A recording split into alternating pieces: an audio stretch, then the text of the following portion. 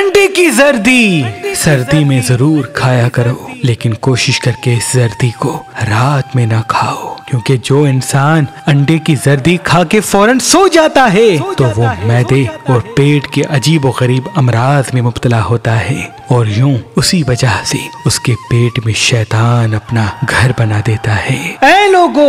अगर अंडा या अंडे की जर्दी खाने के इतने शौकीन हो तो कोशिश करके सुबह के आगाज़ में खाया करो क्योंकि जो इंसान सुबह के आगाज़ में अंडा या अंडे की जर्दी खाता है तो उसकी हड्डियाँ मज़बूत होती हैं। वो तमाम नहस असरात से अल्लाह की पनाह में जाता है और कोई भी नहस चीज़, चाहे जादू हो, नज़र हो, हसद हो, उस पर कभी हावी नहीं होता।